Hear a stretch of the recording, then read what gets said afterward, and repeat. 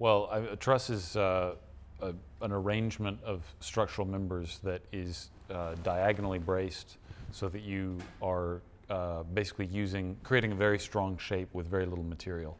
And so we're taking two by fours, but because we're, we're moving them diagonally across 18 inches, they might have the strength of a significantly larger piece of wood, uh, but with a, at a fraction of the weight. It, basically, the two trussed corners come together and form a, an extremely rigid corner. I did that originally on a project we had that they wanted to do uh, um, all open, big top, just corners, and I didn't want to stand the corners on posts. And the best way to get them strong was to build an angle at the corner because the angle then had a foot this direction and a foot that direction. And then we, uh, and we ran a cable up through because it was in Oklahoma where it was going to, so we had to have cables to tie it down so in case tornado came along, it wouldn't blow away. And so the idea was to give it long enough legs.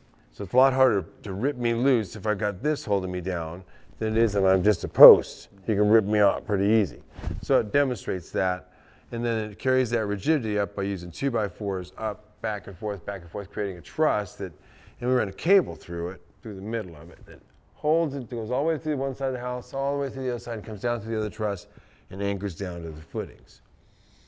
It gives the house an incredible integrity considering you're also nailing the skin on the inside to it, which is three quarter inch lumber, nailing the skin on the outside to it, which is generally at least a half inch or three quarter inch siding. And by doing that, virtually you create a wooden crate on the top with a bottom that's also a truss, because the way we build the bottom. So it's trussed effectively all the way around. And literally, my steel trailer bends in the middle. We have a gap sometimes, we've shipped with a gap this wide where the house isn't even touching the trailer in the middle and you can still open the door on the side. It doesn't knock it out a level or anything like that. So the, I, I just went and decided I'm going to overkill to the point that this baby will take being rolled down the side of a hill practically and still survive. Mm-hmm. If I might say, a truss basically is the same as if you made a beam. And what we're doing is saying instead of having a two by four here and a two by four over here, which we build the truss out of, by taking another two two by fours and making this web, we create the effect of a four by 16 beam being there because it's carrying that load back and forth.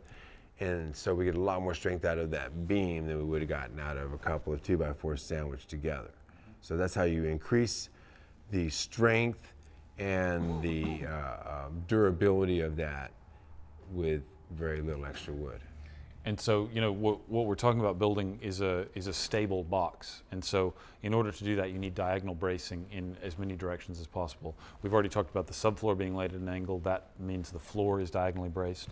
The trusses create diagonal bracing in the two directions going this way. So we have uh, five sides of a box. And then the only thing we have left is the top, which is where our roof structure goes. And uh, we also then connect loft beams that connect the two longest walls together.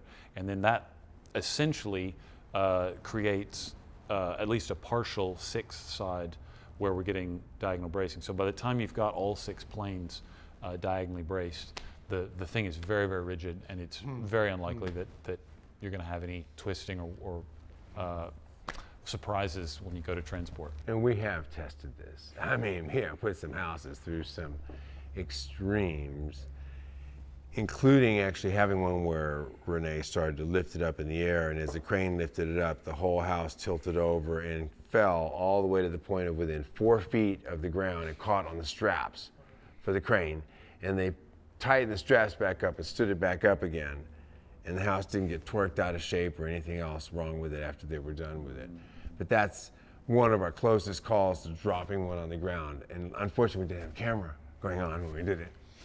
But um, it, it, it, was amazing each of the tests that these houses have gone through over the years that um, they're really designed to sustain a hit more than any other house you can buy. And I, and I like the cable thing as well. I mean, that's, that's really critical. The, and the idea there is that there's a cable running through all of the main structural elements of the box so that the box, if it's adequately anchored down into the ground via footings or some sort of auger or something like that, uh, you can create a huge amount of uh, protection from, from high winds and storms and that sort of thing.